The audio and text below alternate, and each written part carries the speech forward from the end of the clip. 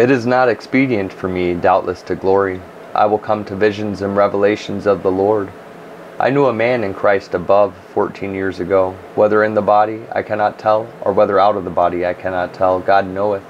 Such an one caught up to the third heaven, and I knew such a man, whether in the body or out of the body I cannot tell, God knoweth, how that he was caught up into paradise, and heard unspeakable words, which it is not lawful for a man to utter. Of such an one will I glory, yet of myself I will not glory, but in mine infirmities for though I would desire to glory, I shall not be a fool, for I will say the truth. But now I forbear, lest any man should think of me above that which he seeth me to be, or that he heareth of me, and lest I should be exalted above measure through the abundance of the revelations. There was given to me a thorn in the flesh, the messenger of Satan to buffet me, lest I should be exalted above measure. For this thing I besought the Lord thrice, that it might depart from me. And he said unto me, my grace is sufficient for thee, my strength is made perfect in weakness. Most gladly, therefore, will I rather glory in my infirmities, that the power of Christ may rest upon me. Therefore I take pleasure in infirmities, in reproaches, in necessities, in persecutions, and distresses, for Christ's sake. For when I am weak, then am I strong. I am become a fool in glorying. Ye have compelled me, for I ought to have been commended of you. For in nothing am I behind the very chiefest apostles, though I be nothing. Truly the signs of an apostle were wrought among you in all patience, in signs and wonders and mighty deeds. For what is it wherein ye were inferior to other churches, except it be that I myself was not burdensome to you? Forgive me this wrong. Behold, the third time I am ready to come to you, and I will not be burdensome to you. For I seek not yours, but you.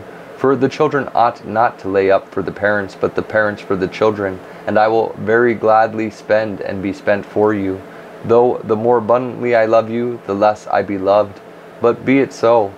I did not burden you. Nevertheless, being crafty, I caught you with guile. Did I make gain of you by any of them whom I sent unto you? I desired Titus, and with him I sent a brother. Did Titus make a gain of you? Walked we not in the same spirit? Walked we not in the same steps? Again, think ye that we excuse ourselves unto you? We speak before God in Christ, but we do all things, dearly beloved, for your edifying. For I fear lest when I come I shall not find you such as I would, and that I shall be found unto you as such as ye would not, lest there be debates, envyings, wraths, strifes, backbitings, whisperings, swellings, tumults, and lest when I come again my God will humble me among you and that I shall bewail many which have sinned already, and have not repented of the uncleanness and fornication and lasciviousness which they have committed. This is the third time I am coming to you. In the mouth of two or three witnesses shall every word be established. I told you before and foretell you, as if I were present the second time. And being absent now, I write to them which heretofore have sinned, and to all other, that if I come again, I will not spare since ye seek a proof of Christ speaking in me, which to you word is not weak, but is mighty in you. For though he was crucified through weakness, yet he liveth by the power of God. For we also are weak in him, but we shall live with him by the power of God toward you. Examine yourselves whether ye be in the faith. Prove your own selves.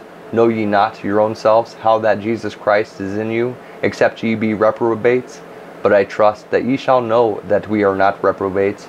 Now I pray to God that ye do no evil, not that we should appear approved, but that ye should do that which is honest, though we be as reprobates. For we can do nothing against the truth, but for the truth. For we are glad when we are weak, and ye are strong. And this also we wish, even your perfection. Therefore I write these things, being absent lest being present I should use sharpness, according to the power which the Lord hath given me to edification, and not to destruction. Finally, brethren, farewell. Be perfect, be of good comfort, be of one mind, live in peace, and the God of love and peace shall be with you. Greet one another with an holy kiss. All the saints salute you. The grace of the Lord Jesus Christ, and the love of God, and the communion of the Holy Ghost be with you all. Amen. The second epistle to the Corinthians was written from Philippi, a city of Macedonia, by Titus and Lucas.